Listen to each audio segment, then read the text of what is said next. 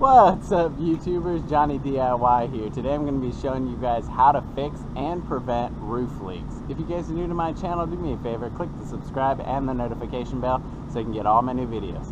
Alright, let's get to it. Okay, so this is the stuff we're going to be using to patch and prevent any roof leaks we have. This is made by Henry. It is 208R. It's a rubberized roofing patch or roofing cement. You may have a different brand, but this is the stuff I use. It comes in either a gallon or you can get it in caulking tubes as well for smaller jobs. You may as well get the gallon size if you have a full-size house, and you can use this for a few years. Okay, so we're going to go all the way around the roof and we're going to check all the flashing and the shingles for any leaks. Here's some skylight flashing right here that we can just, we just spread it on with a putty knife. We'll just spread it over any nail holes that are exposed.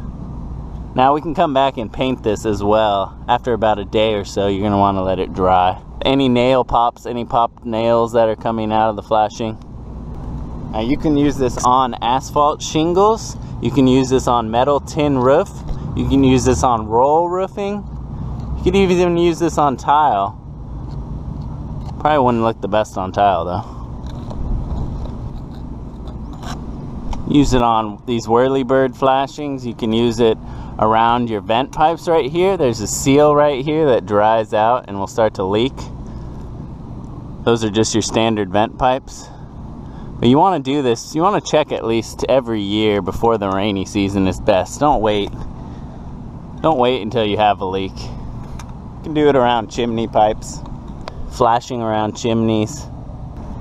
Any exposed nails like this. Try and tool it so that it's running down so the rain will go down with it at an angle. See all these nails are popping out. You can see the cracks around the nail heads.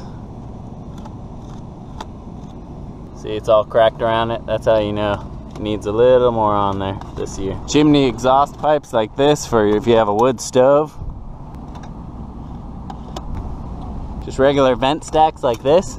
Now you can see, look at that. That's all cracked around this vent stack right here, that seal. So we're just gonna take a little bit, put it in those cracks. Like I said, we'll come back and paint these in a day or so after it dries. That way it looks a little nicer, you won't be able to see it.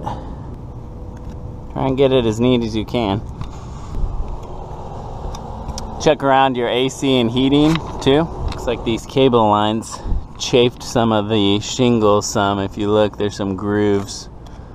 We can go ahead and fill these. So this is, you know, it works on any sort of flashing and vents, shingles, any kind. And what's great about this is you can apply it wet if you need to, say you have a leak, you can go right up there in the rain and put this on and it'll seal it. I've done it. Okay, so I went ahead and got a tube of that caulking version just for you guys to show you. Now this caulking tube size is good because it should be just enough, one or two of them, to do your entire roof. I usually check every year, but let's go ahead and do this seam right here on the skylight with the tube.